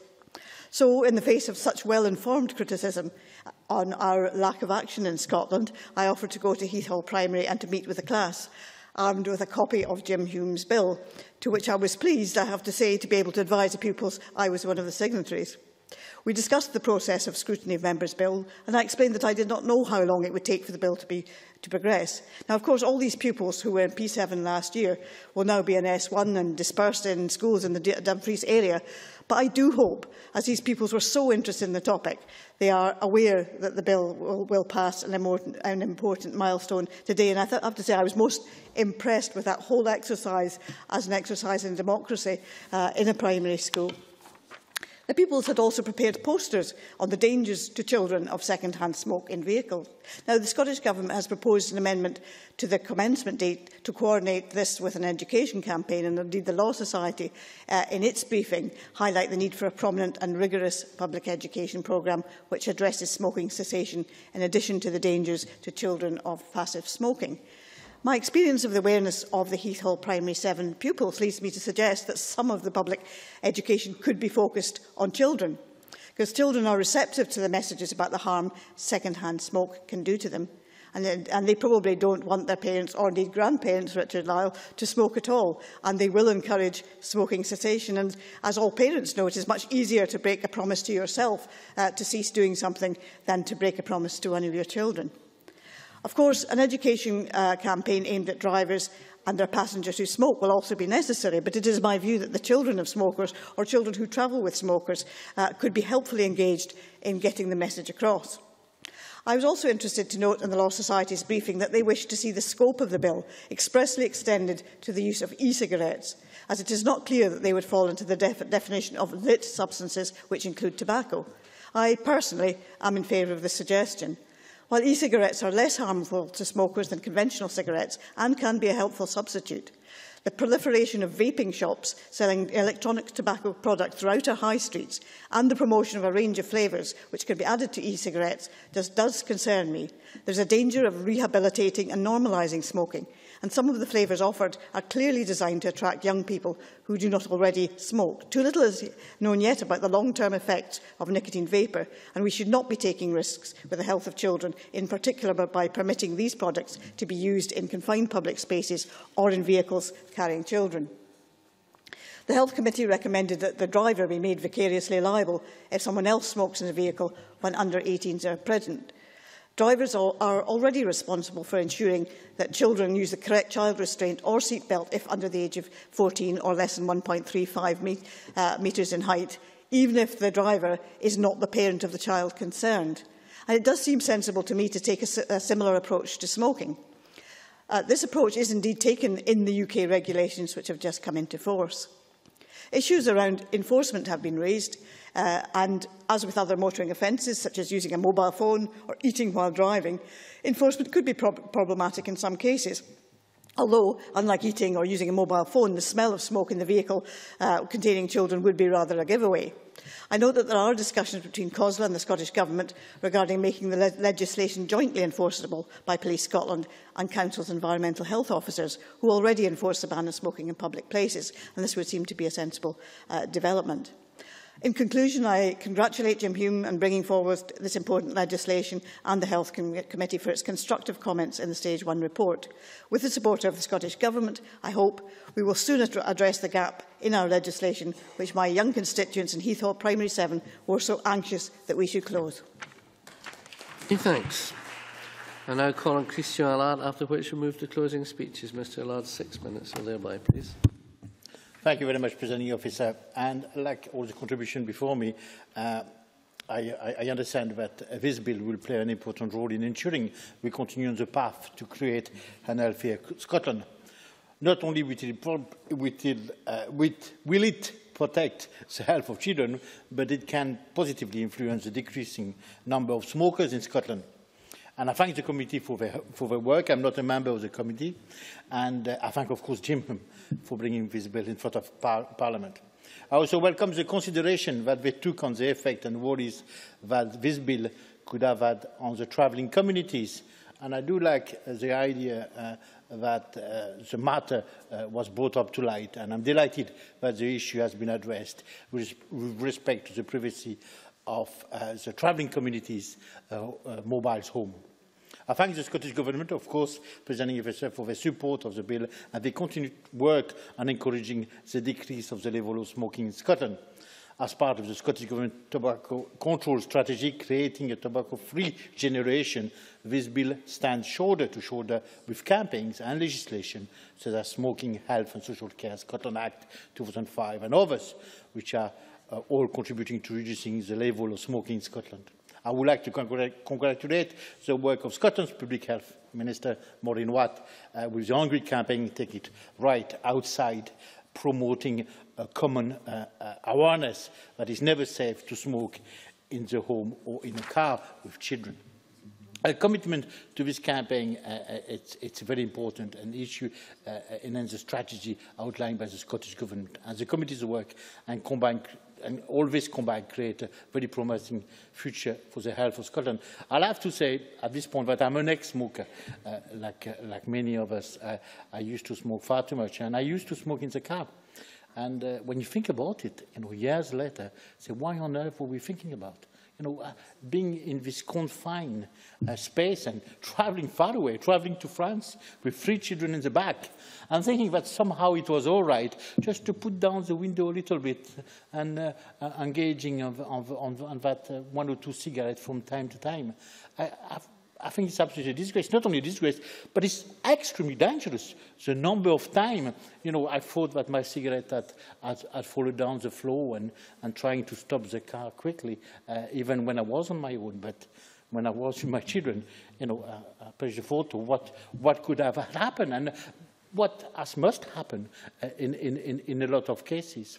So it's never safe to smoke in a car, and, and, and that's my point. Uh, but uh, everyone's situation is different. Uh, there are small changes that parents can make to their smoking uh, behaviour. We should pay great dividends in terms of protecting their children from second-hand smoke. And I did that, you know, I, I smoked a lot outside uh, under the rain before I decided uh, at least to stop uh, more than 20 years ago. And I never looked back, you know, I would encourage uh, uh, anybody to, to, to follow suit. And of course, uh, we heard Stewart Maxwell saying that this legislation happened as well in other countries, and France has implemented it uh, uh, not a long time ago, in late July. Uh, and I agree with the, the Minister's position. A fine seems adequate to me uh, when uh, some city council are charging around about 50 pounds uh, for cigarettes and littering. Uh, I think that a 100 pounds fine uh, for intoxicating children with second-hand smoke uh, is appropriate. Uh, but we all have a responsibility for this nation to stop hurting itself with tobacco produce. It's not only about smokers, it's not only about ex-smokers like me, but it's about all, you know, all, all, all society and thinking and thinking right and you know from children to, to, to adults that we need to change our attitude uh, regarding smoking. And Jim Hume's uh, bills helps ensuring the good health of children and young people. I personally would have maybe gone further and stopped everyone smoking in cars, regardless of whom is in it. Uh, Jenny Marra called uh, for uh, this piece of legislation not to be the last word on the matter, And I agree with that type of, of, of statement. Uh, I think there is still a, a lot more to be done. And I have no doubt that in the future, children will be shocked to know that it's ever been possible to smoke uh, in a vehicle. But it was even possible uh, to be in an enclosed metal tank packed with highly flammable uh, fuel and machinery, which moves at fast speeds uh, on wheels and, and somehow you could ignite a naked flame and, and uh, with inches away uh, from, from such a dangerous uh, project. You know, it's very shocking uh, that the person with the control of this, this car uh, would, uh, would, uh, would not think of, of, of the passenger safety. Uh, so I, I do think that we could have maybe uh, uh, gone further on this. Uh, I will support, of course, the bill at stage one, uh, and the bill uh, is a stepping stone uh, towards the future, towards uh, healthier and, and smoke-free Scotland. And uh, I thank again uh, Jim Hume for his, uh, his, his, uh, his members' bill. It's so important that this Parliament do not only have government's bill, but members' bill as well. And that shows really the variety and the diversity of this Parliament. And uh, I recommend him for this. And uh, I thank the Presiding Officer for your time. Thank you. Many thanks. And we now move to closing speeches, and I call on Jackson Carlaw. Up to seven minutes, please, Mr Carlaw. Uh, thank you, Presiding Officer. There, there was one moment this afternoon, and it was an exchange between the Minister and, and Duncan McNeil on the subject of cabriolets, um, where I thought I saw a gaping hole in the legislation emerging, because where does this leave horse-drawn carriages and horses and carts? Or indeed, if a child can be affected by smoke within one metre, then one metre walking down a street, presumably, uh, is equally damaging. And I only highlight it to say that where the legislative process can take us in terms of the debate. I'm a lifelong non-smoker. Um, contrary to what Jenny Marra might think, actually it was passive smoking and exposure to it that made me a lifelong non-smoker. Uh, my three examples were firstly going home from school from Kelvinbridge on the Glasgow Underground, as we used to call it in those far-off days, where there was a little ashtray on the floor of the carriage and it was thick with tobacco smoke. And I would then get on the bus, and it was one of those buses that had a corridor up one side and bench seats, and you needed a knife and fork to carve through the smoke to find the seat that you would eventually sit in. And then I had my father, who smoked uh, what was it? He, he, he smoked a cigar called Hamlet, and happiness it was not. Uh, I, I remember again, it, we would, he would get his new car with the oyster grey velour roof lining, and within very little time at all, it would be a bile yellow. And I used to think, well, if it's sticking to the roof, what else is it sticking to as well? And I thought it was a perfect example. And similarly, um, going to the cinema, what an ordeal that was. You could hardly see the film. Only once when I saw the film The Towering Inferno, did tobacco smoke add to the atmosphere. It, it, it was a hideous experience. Uh, and so I have no sympathy in many respects for tobacco. And for that reason, as Nanette Milne made clear in her opening speech, because we support the underlying principles, Scottish Conservatives will support the bill at stage one tonight, and in all probability will support it at stage three as well. I mean, there is the, ma the matter of enforcement and policing priorities. Is this so prevalent an issue that only a legislative solution is appropriate? It is, after all, not a road traffic matter. Unlike using a mobile phone or driving under the influence of alcohol, or even not wearing a seatbelt, this is a legislative measure aimed at motorists which is uniquely not driven by road traffic concerns. So in that sense, it's new. And it will also be impossible to establish on a drive-by whether older children are under or over 18 years of age, and as the bill does not apply to e-cigarettes, the confusion arising could be such that motorists are stopped for no good or appropriate reason by police officers. Jim Hume. Could I, could I quote the, the police officer assistant uh, Chief Constable Higgins in his uh, in his evidence to the, session, uh, uh, to the committee said our officers are well versed in assessing a situation as they see it from a pr pragmatic point of view. If they passed a car and saw somebody smoking in it, and if they saw child seats in the back that would give them a fair indication that the child was under 18, it would be overlaying a common-sense, pragmatic approach that they would take, and that they were very uh, happy to enforce the legislation. Jackson Carnell. Yeah, the roads are not just littered with cars with smoking drivers, but with good intentions as well. And, and joint enforcement with local authorities presumably will be restricted to stationary vehicles. However, we will support the bill tonight, setting these concerns to one side. But with a general rather than a specific reservation, I turn to this now. Increasingly, in order to change public health attitudes, we are resorting to legislative solutions. Inevitably, the case for such measures is invariably subjective, often untried and without the necessary evidence base and support. This is not to say that the proposed measure is misguided. It is to argue that we cannot always be sure based on what is known.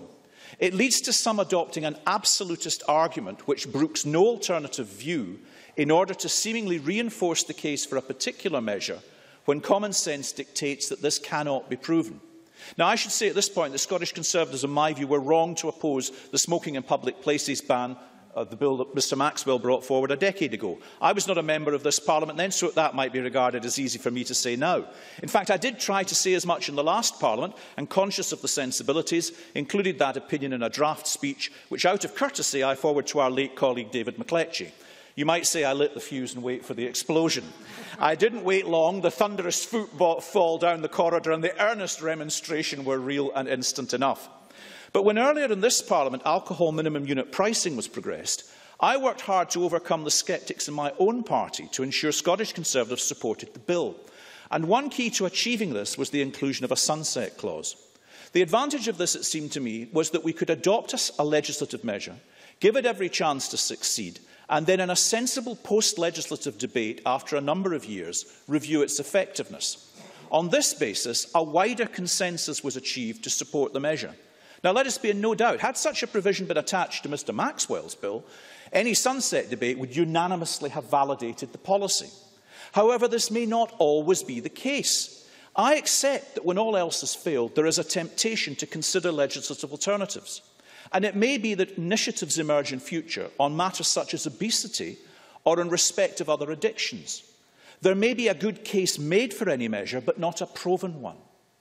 Rather than constructing an artificial debate, it may be more consensual and credible to argue that there is a proposal and a case for giving it a shot at succeeding, but that consensus and credibility with a sceptical public may well be more readily achieved or overcome if all concerned know in advance that after a sensible period of time, the measure will be tested in a post-legislative vote and then either found wanting and allowed to fall, or more hopefully, be vindicated by actual practical evidence and reaffirmed.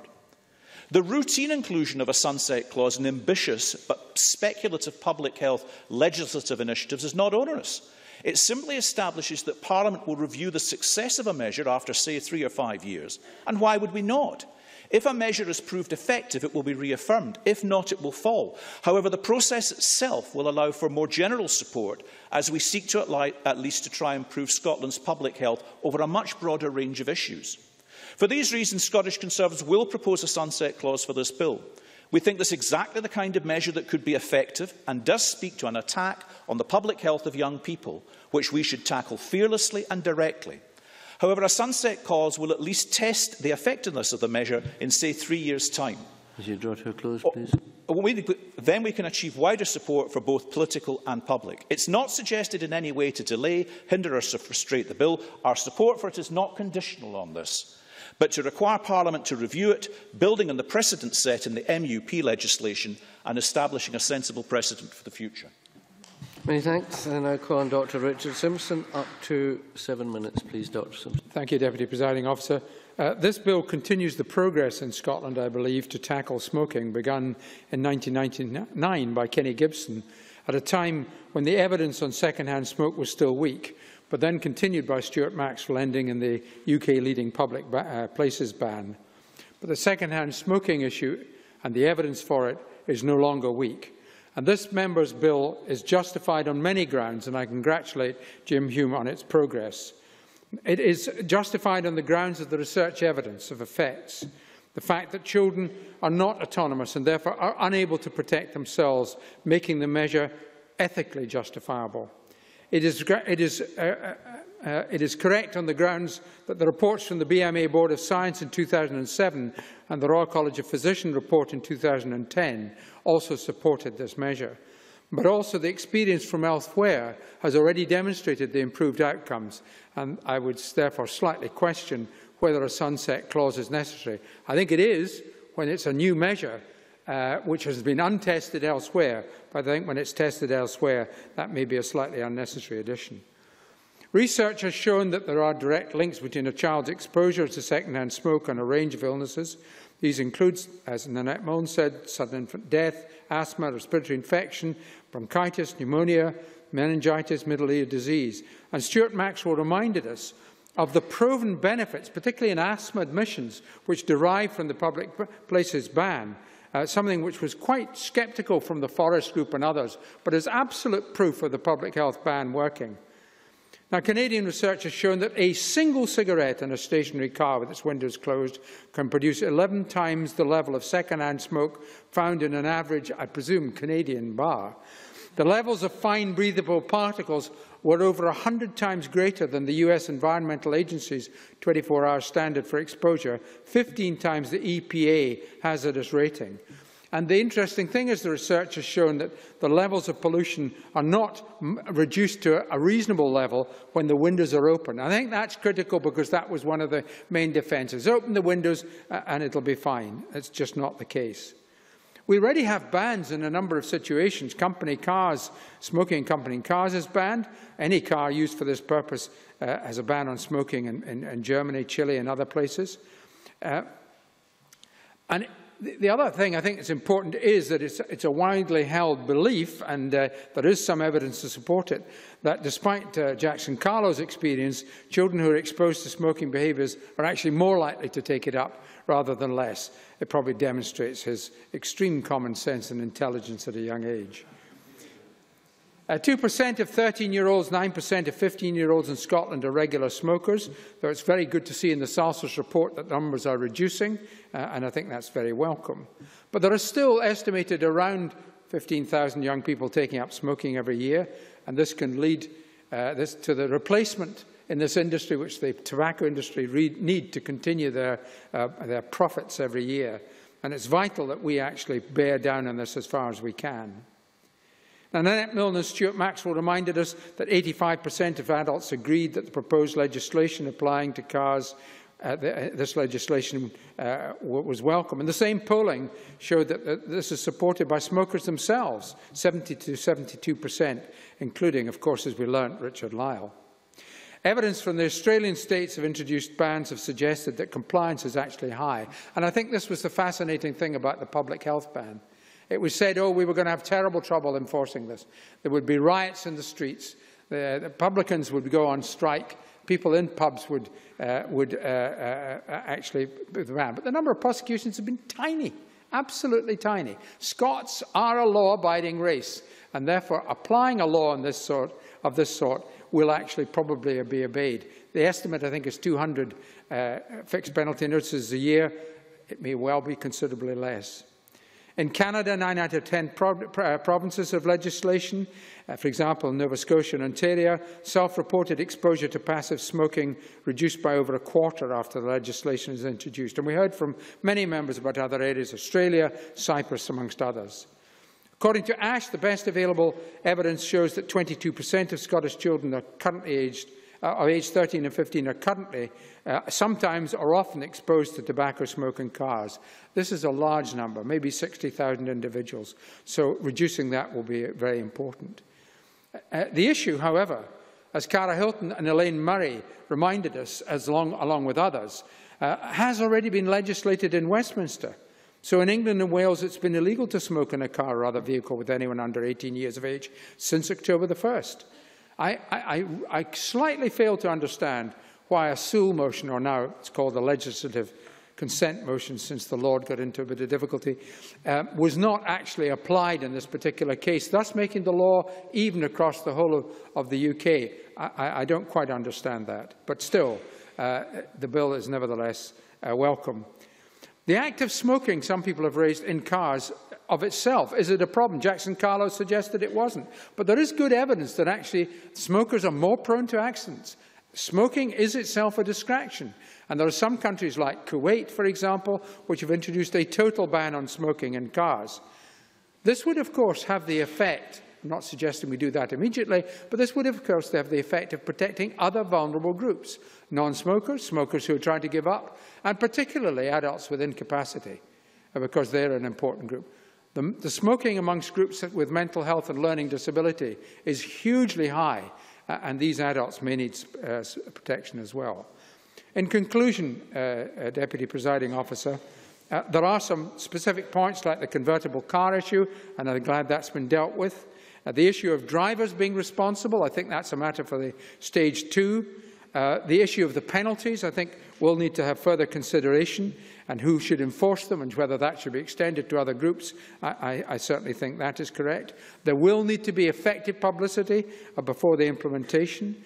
Uh, and uh, the, the member referred to the discretion in determining the age of the passengers, and I agree with that, but I, the committee, I think, didn't agree that the defence of not knowing that we're all adults should be applied, and, and again, this, this will need further work. As Jenny Marra said, we need to keep up the pressure with new measures. Plain packaging, the government supporting, and that's good, and it needs to come in. I would suggest play parks and play areas. Local authorities should have powers to ban smoking in those areas. We should have a ban on smoking inside stadia, in, outside stadia, not just inside stadia, uh, because you have to go through big crowds of smoking, lots of passive smoke. And support for parents to stop smoking in homes, as Jim Eadie referred to, uh, uh, is really important. We should continue that. So for all these reasons, uh, Labour will be supporting this bill tonight, and it's a very welcome measure. Thanks. I now call the Minister, Maureen Watt. Uh, seven minutes, Minister, please. Uh, thank you very much, Presiding Officer, and I'd like to thank all members for a good, very good and constructive debate on this very important piece of legislation for the health of Scotland's children. This, I think, is Parliament at its best. I would also like to take this opportunity again to thank Jim Hume and the Non-Government Bills Unit for their work, and also the Sport, Health and Sport Committee members for their helpful consideration and the committee clerks who assisted uh, that work. I think this stage one report is very good. There are obviously some issues that need further consideration, but it's great to hear such support for the principles of the bill. As highlighted in my opening statement, the Scottish Government has made, clear, made it clear for some time our commitment to protecting children from exposure to second-hand smoke. Uh, Jenny Mara and Cara Hilton said that not much had been done since the 2005 legislation, which, incidentally, presiding officer, was, of course, uh, first proposed by, in a private member's bill by my colleague Stewart Maxwell, but which was taken over uh, by the government at the time. But much has happened uh, since then. The 2010 Tobacco Retail Register, um, a prohibition of vending machines and tobacco displays, the ongoing uh, campaigns, the, the latest of which I launched just yesterday on, on Take It Right Outside. And the plain, just let me finish, and the plain packaging would of course been in our health bill if we had not managed, along with others, to persuade the UK government to do it on a UK-wide basis. And of course, smoking uh, in hospital grounds is in the, um, uh, the, the current health bill that's going through. And make no mistake, if Jim Hume hadn't been proposing this bill, I'll take you in a minute, if, this, if Jim Hume hadn't been proposing this legislation, he knows very well that it would have been in the health bill. But this shows our different ways of working with this, uh, by this government, collegiate, cross-party. Um, and I think that the Perhaps the Health and Sport Committee might have liked it to be in the health bill, but this is the way that we have decided to do it. I'll take the member's intervention. Jenny Marrott preempted my question. I mean, all credit to Stewart Maxwell. Everyone knows that the, the, the smoking ban was the genesis of his bill. But, you know, if the gov Scottish Government, as, as we had adopted his bill when we were in government, why didn't the Scottish Government decide to, to, to, to adopt Jim Hume's bill? I just answered your question. We, are, we uh, under this new First Minister. She said uh, in her very first speech uh, that she wanted to work in a more collegiate way, and this is a precise example of that happening. And can I also just point out to Jenny Mara that she got her fig, fig, uh, figures wrong. Smoking has dropped to 20%, not the 23% she said. It's a 3% drop in the year 2013-14. And of course, people are now choosing different ways of uh, stopping smoking. But this bill is a very important milestone. It will play its part alongside the vast range of measures that will continue to be progressed by the Scottish Government to reduce tobacco-related harm. I'm confident that the rationale behind the measures will earn widespread support in line with public attitudes. It is estimated that 85% of Scots want children to be protected from passive smoking while travelling in the confined space of a car. And as a parliament, I think we must respond to that. And there was no sunset clause, uh, Mr Carlaw, in the England and, uh, England and Wales legislation. Um, and there's been good evidence. This is based on uh, the public wanting this bill and good evidence in the consultations uh, that have been done in relation to this bill and consultations that the, uh, the government itself undertook. Nearly 10 years on from the introduction of smoke-free legislation, it is difficult, as Dr Simpson mentioned, to imagine smoking in the workplaces, cafes or pubs. Attitudes have changed, and the purpose of this legislation is both to build on and continue to drive uh, a change in culture. And as uh, Nanette Milne, there is a perception, um, I think, um, that uh, the seatbelt legislation and the mobile phone legislation isn't enforced, yet in 2013 14, Police Scotland detected over 36,000 seatbelt offences and 34,000 mobile phone offences. So it's perhaps good to get uh, those figures out there that the police are obviously taking action where necessary. Um, As with any legislation, there may be amendments and improvements that will suggest, be suggested as the bill progresses through Parliament. And again, I would like to state how important it is that we work together to ensure uh, the legislation is effective, enforceable and implemented quickly. I think we need to be very careful uh, on considering some uh, amendments that might come forward, for example, making the driver liable. Um, I feel there may be quality issues You imagine, for example, a female driver with a very overbearing and forceful male passenger who might refuse to request of a driver. So we need to uh, be very clear if we want to make the driver liable. I think Elaine Murray, though, made a very good point about the public e education focusing on children. And we know, for example, that more children are interested in recycling than perhaps uh, some of their parents. And that's why we uh, are funding the Assist pilot, which is peer mentoring on the, um, the uh, harms of smoking. So ultimately, this government believes that the underpinning principles of this bill are strong, and that's why we're happy as a government to support the bill at stage one.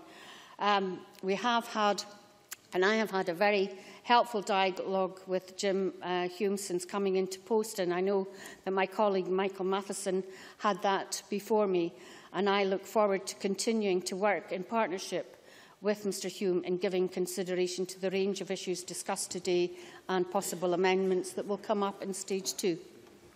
Thanks very much. I now call on Jim Hume to wind up the debate. Um, Mr Hume, you have until five o'clock.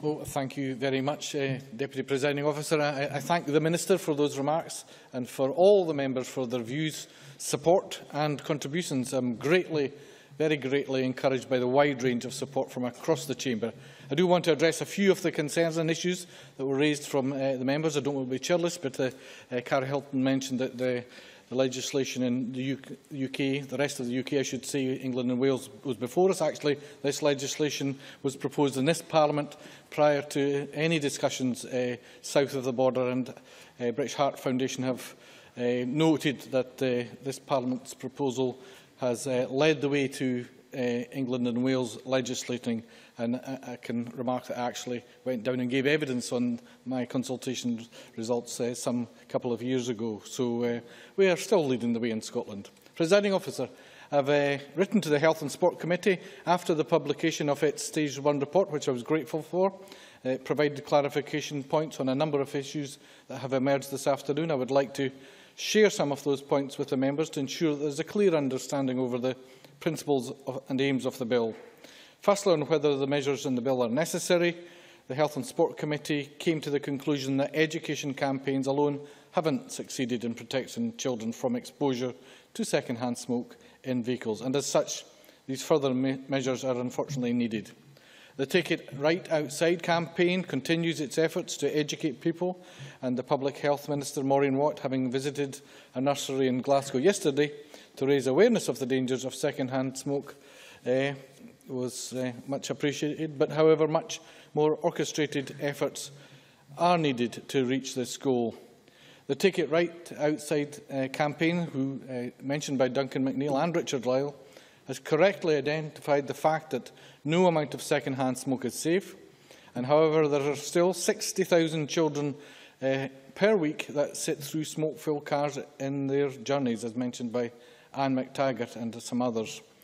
My bill is a necessary step, needed to make sure that education and enforcement is uniform across Scotland. It educates and discourages adults from smoking in the presence of a child. I previously mentioned, as did others like uh, Nanette Milne and Jim Eadie, that conditions and diseases such as asthma, uh, uh, tract infections and an increased risk of lung cancer are avoidable. But that they continue to affect children because of second-hand smoke. I want to reiterate that there is a strong case for this Parliament to adopt this legislation and protect our children today. That will enable at least 60,000 children to have a healthier start in life in Scotland. I want to uh, be clear about another topic which has been brought up uh, relating to the penalisation of the per person who smokes. The bill is clear at this stage that any vehicle passenger who is over 18 and is smoking when the children are in the vehicle will be liable for a, a penalty. I believe at this stage, but I'm happy to work with other members, the government and, and, the, uh, and of course the committee regarding vicarious liability provisions, but I think it may risk the bill being overly complex at this stage and may risk unduly penalising individuals. Uh, so instead, the focus, I think, should remain on protecting children and through this measure help educate people as well as children themselves who will be, of course, future drivers uh, of the farm harmful effects of, uh, of second-hand smoke. But as I said, I will be happy to work with uh, members and the committee on this. I also believe that setting a single rate penalty of £100 will serve the purposes of clarity, uniformity in enforcement and fairness between all who are found liable uh, to pay this penalty. I believe that the arguments against this uh, claiming that it will negatively impact those from less well-off backgrounds doesn't really stand. The deterrent will be as strong as and can, can in fact be more fair to those who cannot afford to pay a reduced fine immediately, as they'll be given 29 days to do so. What this flat rate penalty does is, is ensure that those who are able to pay immediately do not get a better deal by having an early payment discount. So I want to see this line used not as a means to criminalise people, but to deter them from subjecting children to second-hand smoke in cars. In the same way that I will not accept a discount at this stage on children's health, I am opposed to accepting a discount from this deterring measure. An additional clarification which I would like to provide is that the bill is clear on the exemption of the types of vehicles. People using a motor vehicle that is designed or adapted for human habitation and is being uh, used for that purpose will not be liable for a penalty. And I'm very glad to hear Christian Allard's uh, strong support for that. As I've stated before, the enforcement of this law will be a responsibility of Police Scotland. However, through a constructive dialogue that I have had with the Scottish Government, it emerged that principals would be able to go even further through a joint enforcement mechanism wherein local authorities can share the enforcement responsibility with Police Scotland. And of course we know that we can trust Police Scotland to utilise its professional expertise on the individual cases that will arise, as they stated in the committee's uh, scrutiny.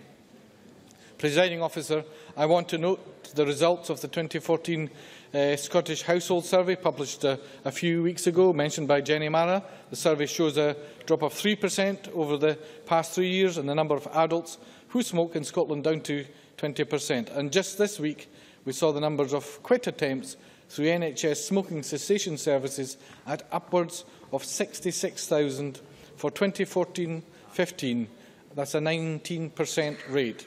This is to be welcomed but it also demonstrates the opportunity that we have right now to capture the potential benefit of this legislation in that it may encourage more adults to consider whether it is responsible or acceptable to smoke in the presence of children more generally.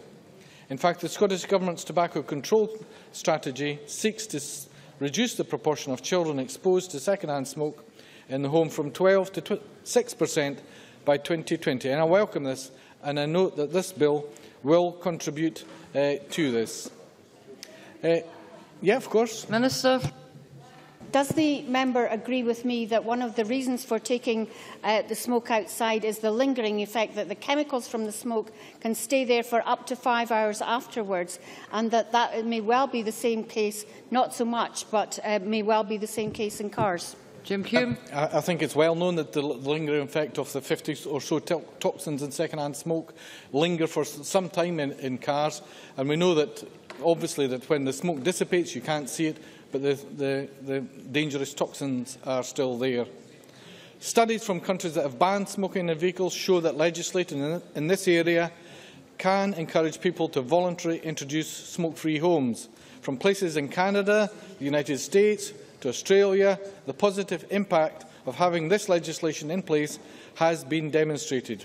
If this legislation leads to culture and behavioural change in the car, as I hope and I do believe will, then it's possible that people in Scotland will voluntarily reduce smoking in other areas where children are present. Other studies show that children who are exposed to second-hand smoke are more likely to become smokers themselves, and apart from Jackson Carlaw, of course. Reducing the exposure to second-hand smoke in vehicles can not only have immediate benefits in protecting children's respiratory systems, but it can also re reduce the likelihood of children taking up smoking in later life, which of course can only be a good thing. Presiding officer, in taking this bill forward, I have been encouraged by the positive views of individuals, parents and grandparents, and opinions of people under 18, as well as health organisations and charities.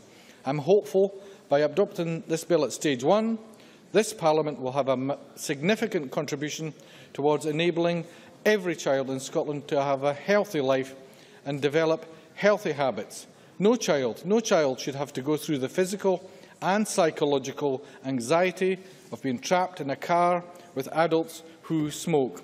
The necessary uh, education and deterrent can come through this bill towards enabling people to look after their health and well-being. I would like uh, to again to thank the members for their positive and thoughtful contributions to this afternoon's debate, as well as the Scottish Government, who has contributed in its own expertise into strengthening this bill. And I, of course, uh, would look forward to continuing the process of this bill. As Elaine Murray says, hopefully we'll get stage through, uh, three through in this session. And I look forward to a country where children are protected when they are at their most vulnerable and they be given the most healthiest of starts to life that they deserve. Thank you. Thank you. That conclu concludes the debate on the Smoking Prohibition Children and Motor Vehicles Scotland Bill. We now move on to decision time. There is only one question to be put as a result of today's business. The question is that motion number 14437 in the name of Jim Hume on smoking prohibition Children in Motor Vehicles Scotland Bill be agreed to and we all agreed. Yes. The motion is therefore agreed to and that concludes decision time.